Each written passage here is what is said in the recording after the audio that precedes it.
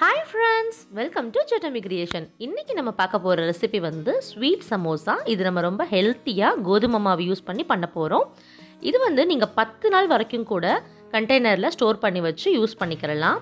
இப்போ நான் வந்து ரெண்டு கப் அளவுக்கு கோதுமை மாவு எடுக்கிறேன்.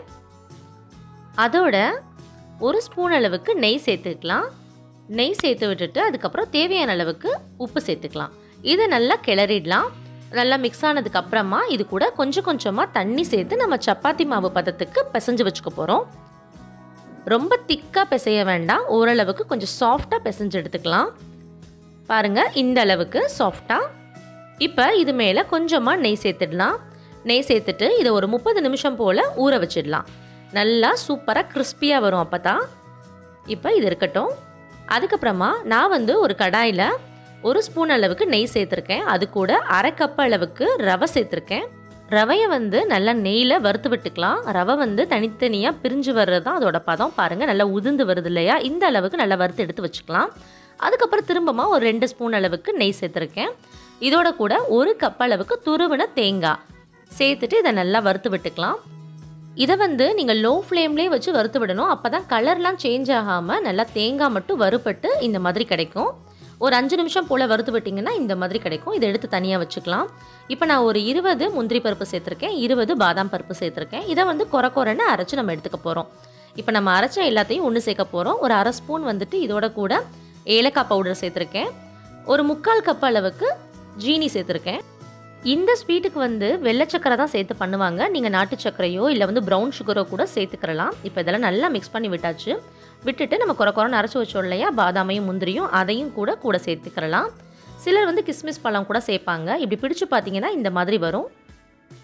இப்படி வந்த பிறகு நம்ம வந்துட்டு லைட்டாக வந்து ஒரு தேய்க்கிற பலகையில் நெய் சேர்த்துட்டு கொஞ்சம் ஓரளவுக்கு திக்காக வந்து மாவை தேய்ச்சி விட்டுக்கலாம்.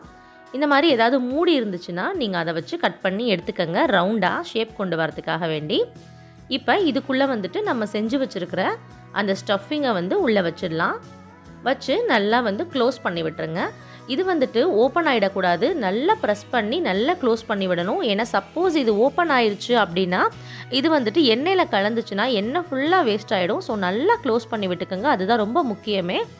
இந்த மாதிரி ஒரு ஃபோக்ஸ் இருந்துச்சுன்னா அது சீல் பண்ணி விடுறதுக்கு யூஸ் ஆகும். ஒரு டிசைன் மாதிரியும் ஆகிடும் இது பண்ணுறதுக்கு என்னால் முடியாது ரொம்ப கஷ்டமாக இருக்கும். இதை உட்காந்து இந்த மாதிரி எல்லாத்துக்கும் பண்ணிகிட்டு இருக்க முடியாது அப்படின்னு நினச்சிங்கன்னா சைடில் ரோல் பண்ணி கூட விட்டுக்கிறலாம்.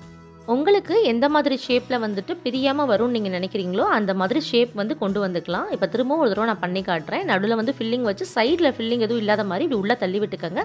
சைடில் தேவைப்பட்டால் தண்ணி வந்து நீங்கள் அப்ளை பண்ணிவிட்டு மூடுனீங்க அப்படின்னா நல்லா ஸ்டிக் ஆகிக்கிறோம் நான் வந்து தண்ணி அப்ளை பண்ணலை. எனக்கு நல்லாவே ஸ்டிக் ஆகிடுச்சு நீங்கள் வந்து தண்ணி அப்ளை பண்ணி கூட நீங்கள் பண்ணி பாருங்கள் இப்போ வந்து பொறிக்கிறதுக்கு எண்ணெய் வந்து நல்லா சூடாயிருச்சு.